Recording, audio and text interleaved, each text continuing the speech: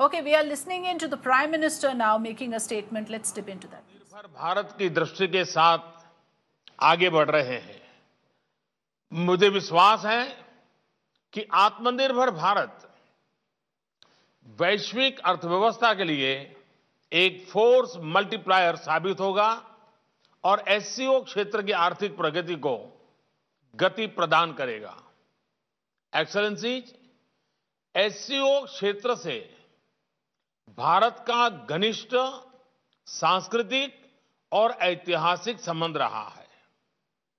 हमारे पूर्वजों ने इस साझा ऐतिहासिक और सांस्कृतिक विरासत को अपने अथक और निरंतर संपर्कों से जीवंत रखा। International north south transport corridor, Chabahar port Ashgabat समझौते जैसे कदम कनेक्टिविटी प्रति भारत के मज़बूत संकल्प को दर्शाते हैं।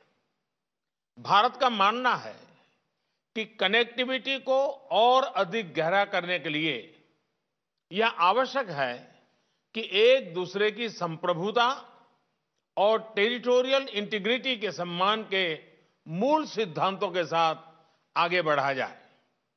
एक्सलेंसीज यूनाइटेड नेशंस ने अपने 75 इयर्स 75 इयर्स पूरे किए हैं। लेकिन अनेक सफलताओं के बाद भी संयुक्त राष्ट्र का मूल लक्ष्य अभी अधूरा है। महामारी की आर्थिक और सामाजिक पीड़ा से जूझ रहे विश्व की अपेक्षा है। ये यूएन की व्यवस्था में आमूल चूल परिवर्तन आए। हमारे यहाँ शास्त्रों में कहा गया है परिवर्तन परिवर्तनमेव स्थिरम अस्ति परिवर्तन ही एकमात्र स्थिरता है। भारत 2021 से यूएन सिक्योरिटी काउंसिल में एक गैर स्थायी सदस्य के रूप में भाग लेगा।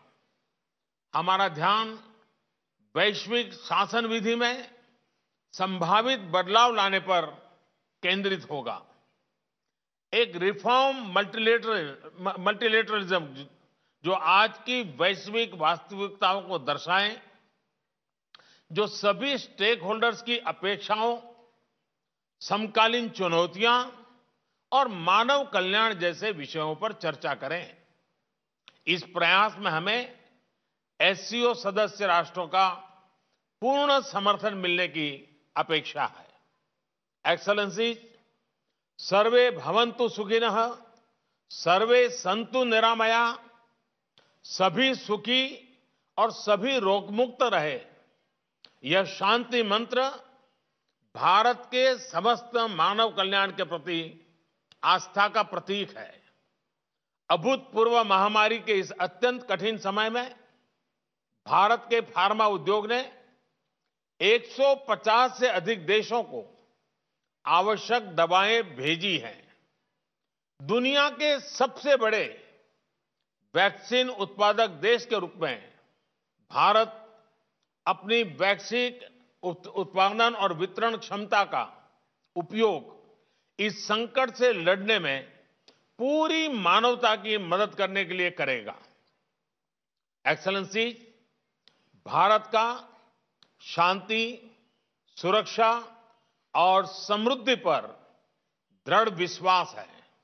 और हमने हमेशा आतंकवाद, अवैध हथियारों की तस्करी, ड्रग्स और मनी लॉन्ड्रिंग के विरोध में आवाज़ उठाई है।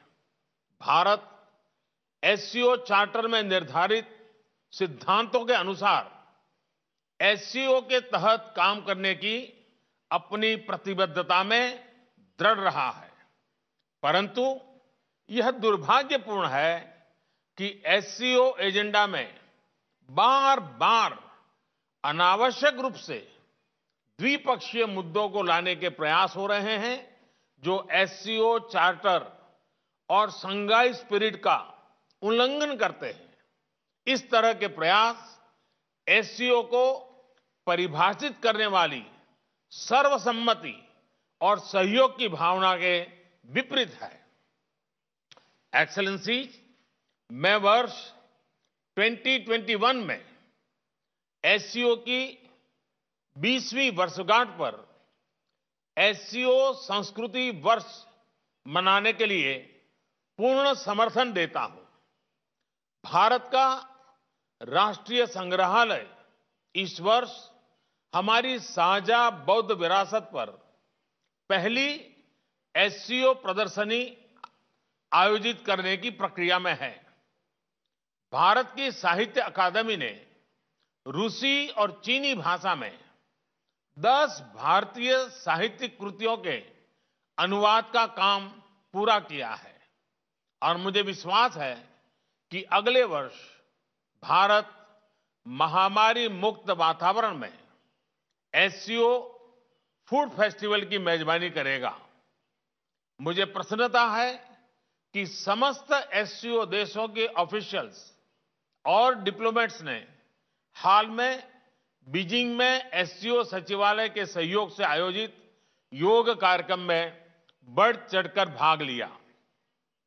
एक्सलेंसी मैं एक बार फिर राष्ट्रपति पुतिन को उनके कुशल और सफल नेतृत्व के लिए बधाई देता हूँ और इस बैठक के लिए उन्हें धन्यवाद देता हूँ। मैं राष्ट्रपति इमाम अली रहमान को अगले वर्ष के लिए एससीओ की अध्यक्षता करने के लिए बधाई और शुभकामनाएँ देना चाहता हूँ। और ताजिकिस्तान के सफल अध्यक्षता के लिए भारत के पूर्ण सहयोग का आश्वासन भी देता हूँ। बहुत बहुत धन्यवाद।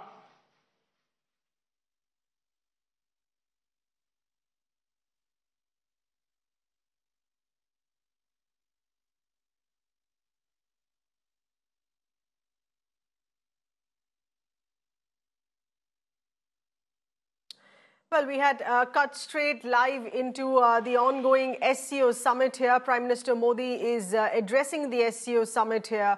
Uh, various aspects to be discussed here. Remember, this is the Shanghai Cooperation Organization summit. It's an eight-member economy and security bloc.